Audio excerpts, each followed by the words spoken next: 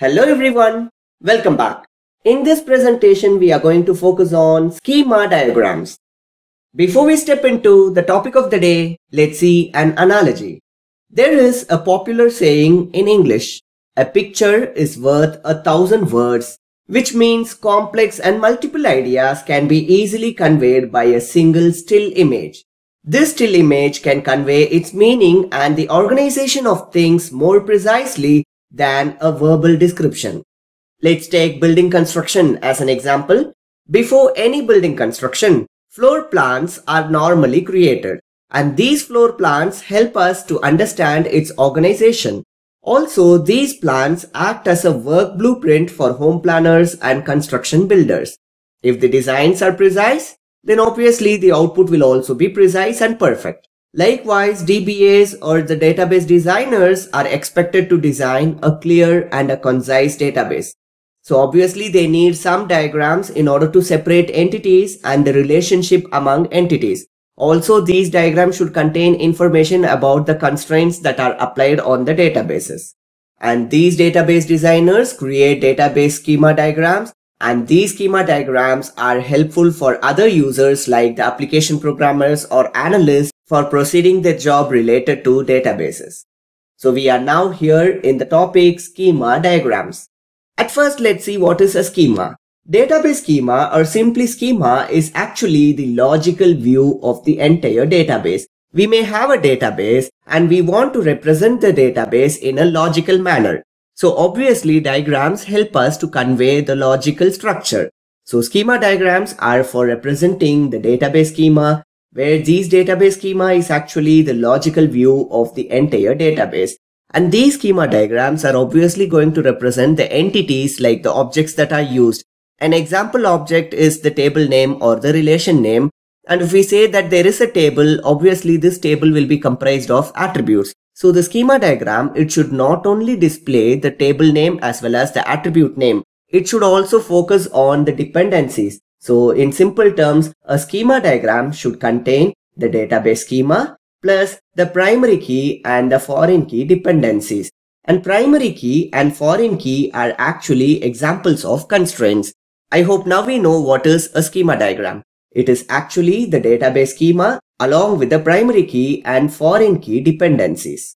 And how we can represent the database schema and also the primary key and the foreign key dependencies. Actually, when we talk about the database schema, and this schema will be actually having the relation name and the attribute name.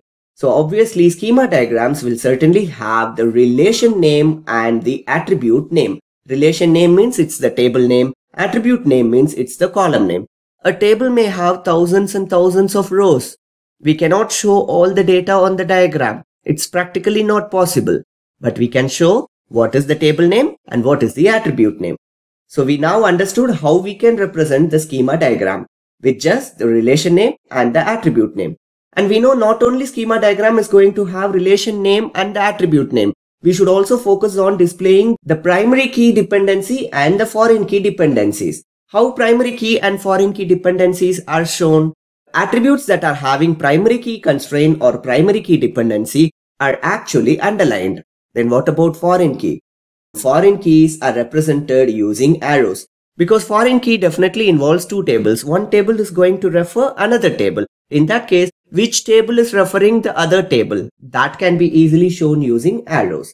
And do we have only these two constraints in reality in databases? The primary key and the foreign key? No, we have other constraints. Can we represent all other constraints in schema diagrams? No, other constraints are not explicitly shown in schema diagrams. And this is one of the drawbacks of having schema diagrams.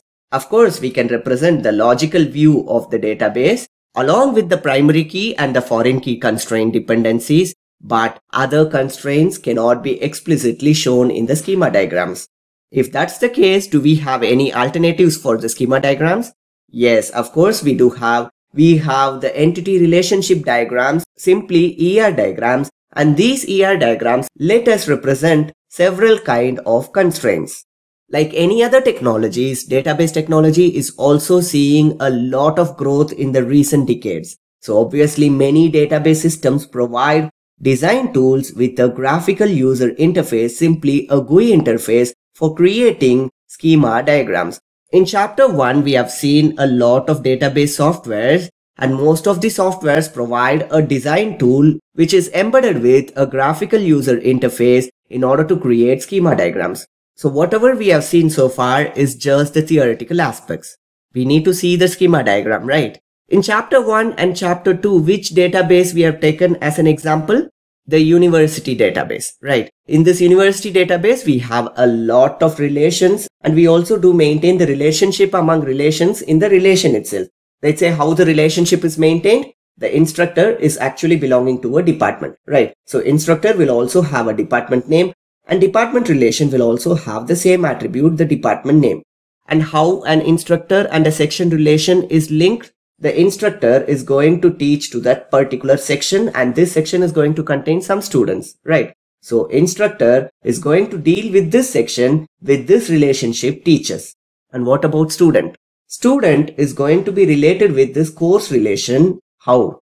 With the takes relationship because student takes this course, right? There will be advisor relationship also, right? So advisor is the relationship that links two tables. What are these two tables? The student and the instructor table. So this advisor table will contain an attribute from the student table and an attribute from the instructor table. What attribute? The ID attribute from student and the instructor table. Just pause this video for a while and just think about the relationship that are established among the relations. If the schema is represented like this, it's very vague, but schema diagrams help us to represent the logical view. Let's see the schema diagram example now for the same university database. So here is the schema diagram for the same university database. And if you see all the relations, whatever we have seen in the previous slide, the student relation, the course relation, the department relation, the instructor relation, all these are relations what we have seen in the previous slide. But how the previous slide and this slide differs? In the previous slide, we represented everything as a word.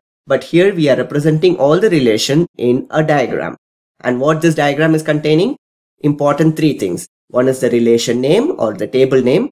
In this case, the table name is student and what are all the attributes or column names that this relation contain. The student ID, the student name, the department name, and the total credits earned by the student. Let's take the same student table, the student ID or simply ID, name, department name, and total credits. Four attributes. The same is represented here. Student, ID, name, department name, and total credits. And can you see one of the attributes is different from other attributes?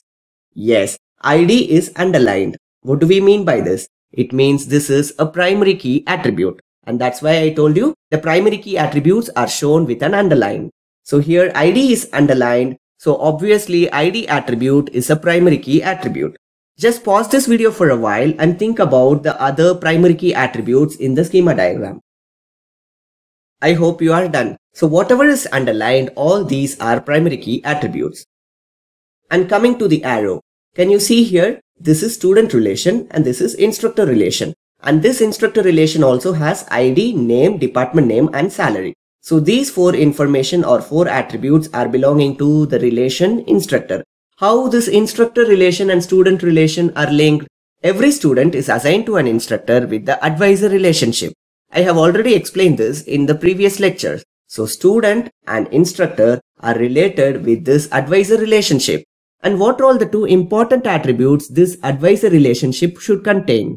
It should contain this ID that I am representing it as student ID. But why I am representing as student ID is that if I simply take ID here and if I simply take ID here, this relation has two column names with the same name. ID, ID.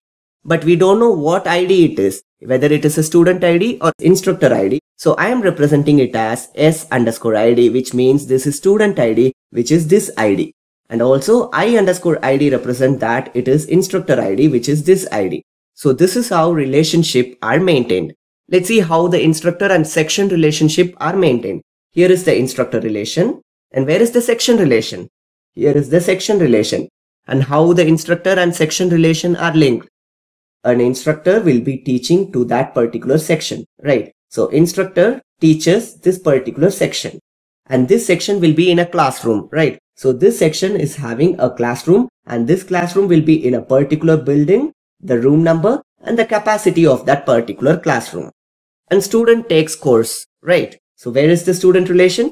Here. So here is the student relation. Here is the course relation and student takes this course. Can you see here? This takes relationship is there with the student. We have seen underlined represent actually the primary key. And can you see the foreign key constraint? Just see this example, the student relation and the department relation. In the student relation, we have an attribute called department name and in the department relation, we have an attribute called department name. And this is the foreign table. And this foreign table contains department name as the primary key attribute. And this primary key attribute in the department table is actually linked to the student table. And this student table here, it is not a primary key attribute because in the student relation, there may be multiple students belonging to the same department. Whereas in the department table, we need to have the department entry only once. And that is why this department name in the department table is having only one entry. And that is why this department name is a primary key attribute here. And the foreign key representation here is the student table is referring to which table? The department table. That's why the arrow is like this. Can you see student table is referring the department table. So whenever any entry is made in the student relation, the department name will be validated or the referential integrity is validated by referring to this table. Suppose if we are entering a department name here, this department name should exist in this table. So I hope now you understood the significance of having schema diagrams in databases. And that's for the day. In this presentation, we have focused on the schema diagrams and the significance of having schema diagrams. But the drawback is in this schema diagram, we can represent the relation name, the attribute name along with the primary key and foreign key constraints. Can you see here only primary key, the underline and the foreign key, the arrows can be represented and we are not able to represent other constraints. And this drawback is overcome in which diagram? The entity relationship diagram, the ER diagram. We are going to focus on ER diagrams in the next chapter. And I have not explained the relationship between the section relation and the time slot relation, the section relation and the course relation, and the relationship between the course relation and the prerequisite relation. This is the homework for you. Just pause this video for a while and just think how the relationship is established in the entire schema diagram. I hope the session is informative and thank you for watching.